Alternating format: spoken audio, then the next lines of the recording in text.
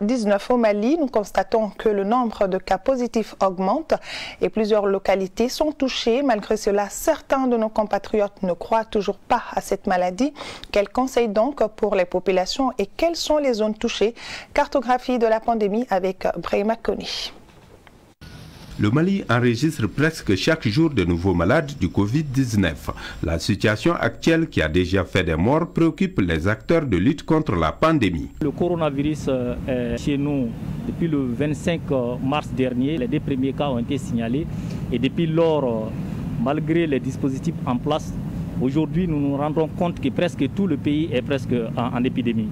Parce que de façon statistique, on voit que sept régions ont signalé des cas. Au chapitre de la cartographie du Covid-19 au Mali, certaines zones sont plus touchées que les autres. C'est Bamako, la capitale, et puis suivi de Caille, qui sont les deux villes les plus touchées.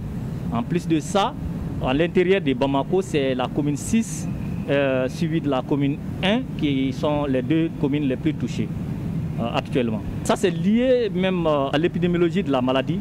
En fait, les premiers cas euh, qui ont été signalés, c'est des cas importés.